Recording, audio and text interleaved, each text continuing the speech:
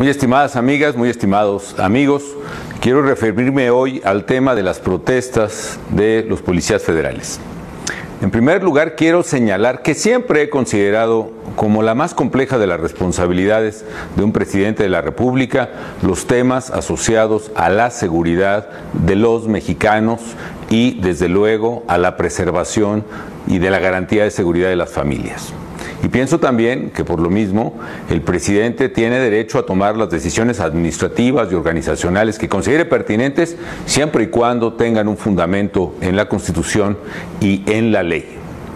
Quiero decirles, amigas y amigos, que las protestas de los elementos de la Policía Federal son, a mi juicio, el resultado de un problema de fondo y de un problema de forma. ¿Cuál es el problema de fondo? Lo que ellos nos están diciendo.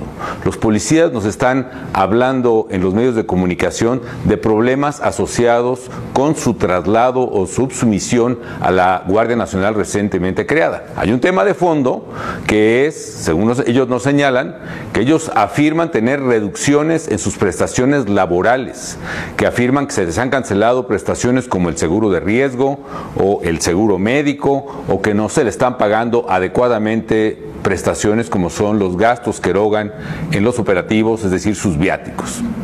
También hemos visto en los medios de comunicación de policías que ya han pasado por alguna experiencia de entrenamiento en la Guardia Nacional, que hablan de que potencialmente verían reducidos sus ingresos netos y que las condiciones en que se les pretende eh, hospedar o alojar no son dignas o bien que simplemente no aceptan el incorporarse a mandos de disciplina militar para la cual no aplicaron al registrarse como policías federales. Me parece que son cosas opinables, discutibles, pero que son temas de fondo que son precisamente los que hay que atender. Pero también hay temas de formas y es la manera en cómo se ha abordado ese asunto y el desprecio que se ha expresado hacia los policías. Señor presidente, señor secretario, escuchen a los policías. Dejen de escucharse ustedes mismos nada más y tómense la molestia de explicarles cuál es el plan de seguridad que ustedes tienen y qué esperan que hagan dentro de ese plan los propios policías federales. Hay un tema de forma cuando se dice que todos son corruptos o que todos están echados a perder. Eso no es cierto y decir eso no es justo. Por supuesto debe haber muchos elementos corruptos y estoy de acuerdo, señor presidente, con lo que dice. Es probable que en el sexenio pasado, al relajarse los mecanismos de control y a restarle prioridad a la seguridad y a la Policía Federal, se haya exacerbado este problema. Pero eso tiene remedio. Arreglen eso. Revisen y renueven la Policía Federal con elementos confiables. Reconstruyan el sistema de control de confianza que se ha venido desmantelando en los últimos años. Hay un problema de forma también cuando, sin ir más lejos, se les trata ofensivamente por sus propios jefes, incluso como lo hizo un alto funcionario de la administración pública, que les llamó FIFIs por el solo hecho de pedirles condiciones dignas de trabajo. Y a propósito de los calificativos, señor presidente, nuevamente le pido, con todo respeto, que deje de descalificarnos con calificativos a quienes no pensamos como usted todos somos mexicanos y yo le pido respetuosamente que deje de dividir a México.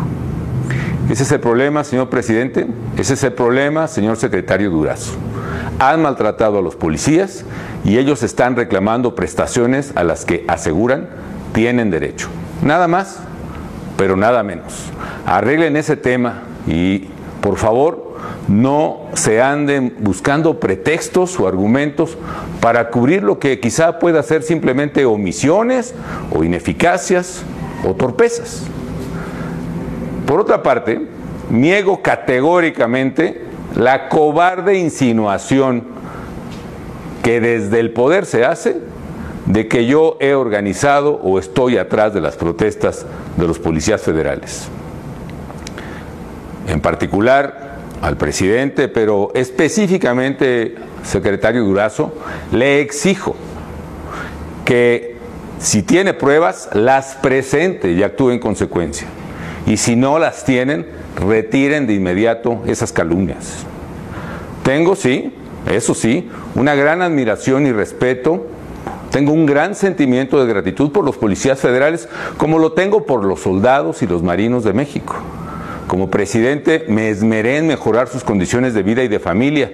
Y más que ello, traté siempre con respeto lo que ellos hacían, cuidando precisamente que su patriótico trabajo lo pudieran hacer en las condiciones más dignas posibles.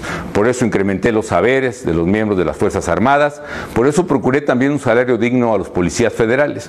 Pero más que lo material, Mientras muchos los tildaban de asesinos o genocidas, siempre reconocí, admiré y apoyé su trabajo por el alto grado de lealtad y patriotismo hacia México y porque ellos estaban arriesgando su vida, su integridad física para servir a los mexicanos y proteger a las familias mexicanas. Así que siempre tendrán todos un testimonio mío de gratitud y de admiración.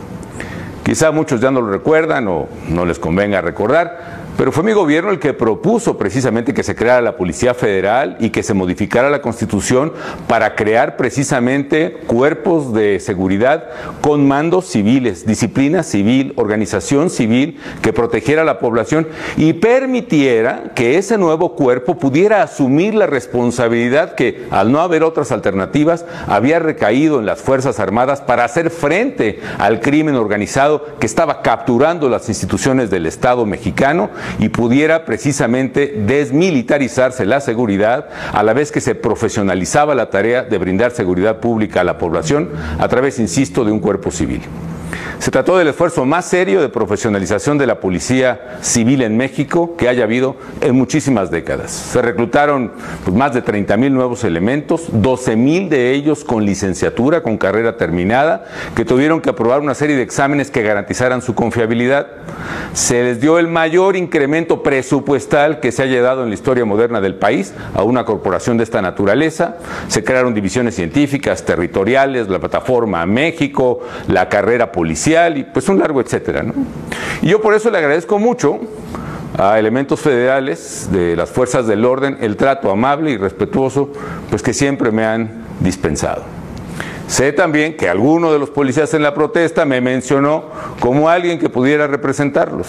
Yo agradezco mucho a ese policía o a esos integrantes de la Policía Federal que piensen de buena fe que puedo ayudarles, pero no es mi papel no está bien que yo intervenga como representante de ustedes y además, amigas y amigos policías, mi nombre más que ayudarles les perjudicaría. Porque miren, en el gobierno y particularmente allí en la Secretaría, pues gobiernan los prejuicios, los complejos, las inseguridades, los miedos. Por eso no atinan a hacer bien su trabajo. Y entonces por hacerme un daño a mí, pues van a terminar, terminar haciéndoselos a ustedes. Así que gracias, pero no puedo aceptar su oferta. Tienen que organizarse, es mi sugerencia, tienen que tener sus propios representantes y sobre todo tienen que buscar los medios pacíficos que no dañan a la población, sensatos, que estén dentro de la ley, para que por medio de propuestas razonables puedan llegar lo más pronto posible a un acuerdo. Yo deseo fervientemente que eso ocurra pronto. Y hago votos porque el diálogo prevalezca y se respeten los derechos de los integrantes de las fuerzas federales, de todas, y sobre todo que se reconozca finalmente lo mucho, lo mucho que han hecho por nuestro querido México. Muchas gracias.